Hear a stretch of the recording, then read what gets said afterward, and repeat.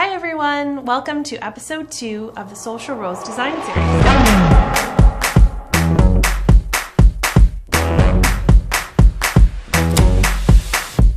Today we're going to be showing you how to make a tall, layered centerpiece. Okay, are you ready? Here we go. And, and there you have it. That's how this layered centerpiece design comes together. Wouldn't it be amazing if that were actually the case and I could snap my fingers and all my weddings would come together that easily? Now let's really see how it's done. I have a nine inch dish with floral foam that's pre-wet and all of my flowers ready to go. So first we're gonna start with our hydrangea.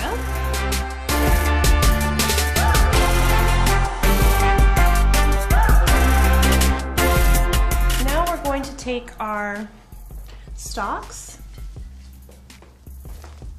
And we're gonna place those into the arrangement.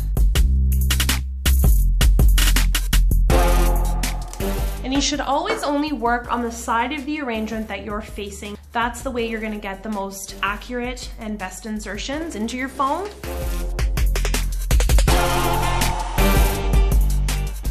Now we're gonna use a beautiful greenery called Italian Ruscus. And this is gonna add a lot of texture to our arrangement. And again, you wanna make sure that you're cutting your stems on angles. That way, they make a very firm insertion into your floral foam.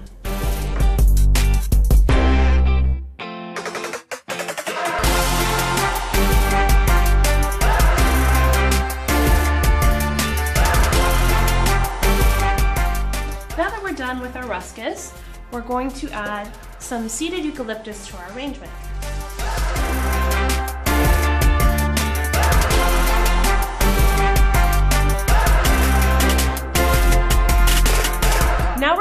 Inserting our roses. So we're going to use the white as our first layer. I use my white roses first as my inner layer because we also have white hydrangeas in this arrangement. And because the hydrangeas are so big and uh, large in size, they're very prominent. And I don't want the centerpiece to be overtaken by the white. We do also want the blush to show through. So the blush roses will be the last layer that we use in our arrangement.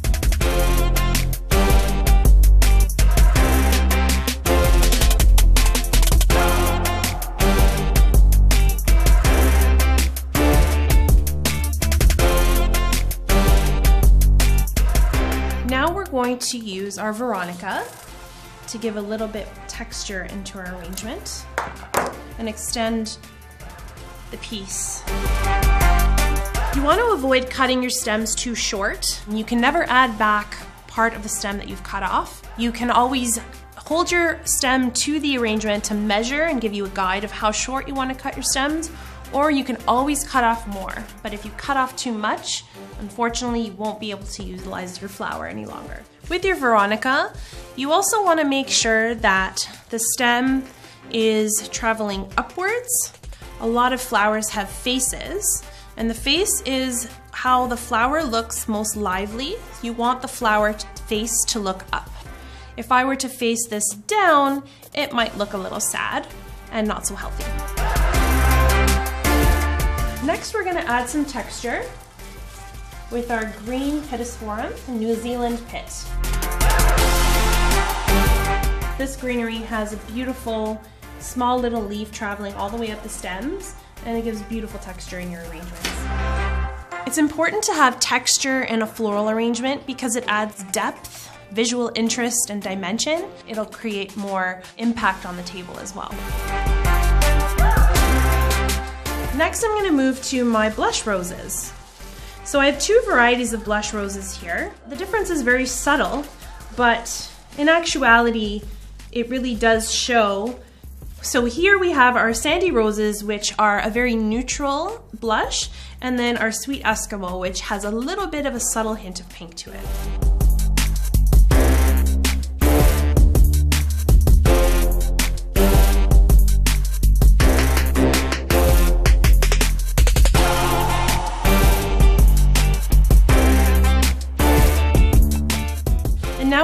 In and we're gonna add our blush pink roses.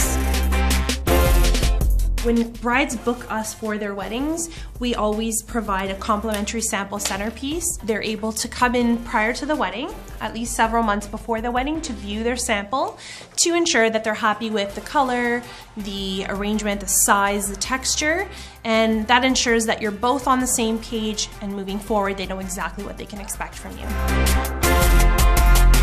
So we've got pretty much most of our flowers into the arrangement. And now we're just going to add some spray roses for a little bit of texture. And then we're gonna finish off our piece with some salal, which is just to fill in the gaps that you might have. You don't wanna see any floral foam and you don't wanna see any of the mechanics with the floral dish that you're using for the arrangement. You wanna make sure to fill in some of the top, not too much, but you wanna finish your arrangement because when the guests take this centerpiece home, which is likely gonna be the case, they'll lift the dish off the stand and they'll be able to see inside the top of the arrangement. And the last step is going to be to add our anemone to the arrangement.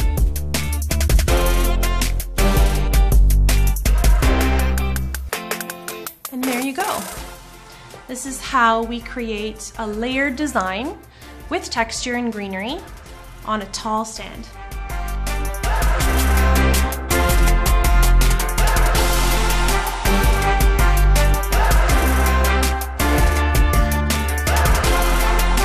Thank you for watching this episode of the Social Rose Design Series.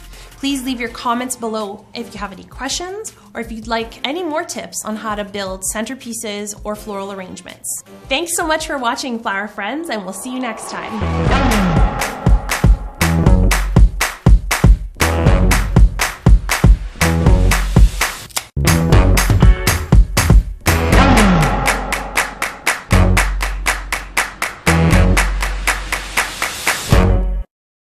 Thank you so much for watching. Don't forget to like and subscribe so that you can stay tuned for the next episode.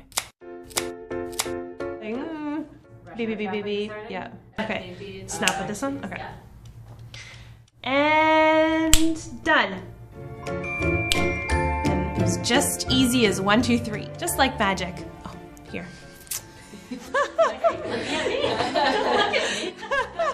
Thank you for watching this. Uh, Thank you so much for watching this layered centerpiece. No, this episode. Is it too cheesy?